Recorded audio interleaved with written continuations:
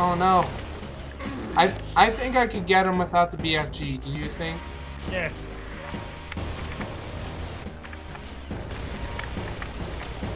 He's back from Infernal. How do you survive?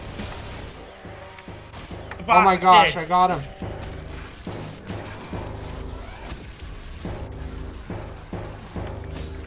Rest in peace. we got him. Now we jump down in here.